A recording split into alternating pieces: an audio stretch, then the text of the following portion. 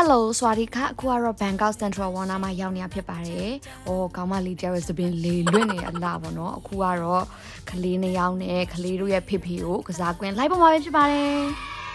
အခုရောက်နေတဲ့နေရာတွေက Play Mode တို့ပေါ့နော် Central World Second Floor မှာရှိရဲ Mascara နဲ့ Jaden တို့ရဲ့အပျော်ဆုံးသောနေရာလို့လည်းပြောလို့ရတယ်။ကဲဒါကတော့ကို Jaden ရဲ့စကားများနေပြီပေါ့နော်။ဟိုပြတီးပြသူ့အမေကို share ကြွားနေတာပေါ့နော်။သူကအရှိတရက်ကကျူးရောက်ပြီးသားဆိုတော့ကဲ mask ကလည်းကိုရုပ်ကိုကြည့်လိုက်ဒီရုပ်မလေးရဲ့ပျော်ရွှင်နေမှုပေါ့နော်သူရဲ့ဝင်ကြီးကတော့ကလေးဆိုလို့ရှိရင်နှစ်နာရီခွဲ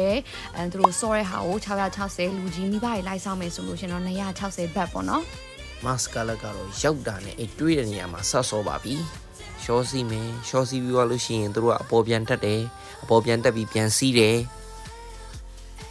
stop stop stop ဒီညာထဲမှာပဲကြည့်ကြည့်သူတို့သားဖားနှစ်ယောက်ရုပ်မတူဘူးလို့ခံစားရတယ်နော်ကိုကိုအပိုင်းနဲ့ကိုကိုကြီးတန်းနဲ့ကိုကိုကြီးတန်းကမျက်အရန်ကြိုက်တဲ့ကြောင်ရင်းအင်းနဲ့တူမနေဘူးလား ဒီဆက်လေးတွေကိုလေဘောလုံးလေးထည့်ပြီးတော့တို့ကအဲ့ပိုက်ထဲကနေပြီးအပေါ်သွားပြီးတော့ဘောလုံးလေးစုတာပေါ့နော်ပြီးရင်အဲ့ဘေးကခလုတ်လေးကိုနှိပ်လိုက်လို့ရှိရင်အဲ့အပေါ်ကဘောလုံးလေးအောက်ကိုပြုတ်ကျလာအောင်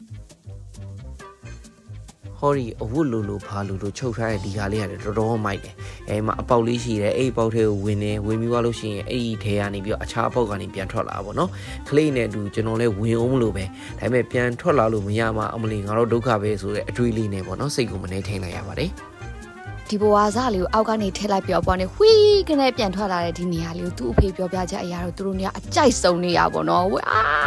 ဆိုပြီးကအခုလိုပဲအော်ဟစ်တောင်းချမ်းစုညံပေါ့လို့ရိုက်ရှင်ရောအမအော်ဟစ်ခဲ့သီလားအလေးတက်ပေါ့မိမ့်မရင်အလေးတက်ပေါ့ဒ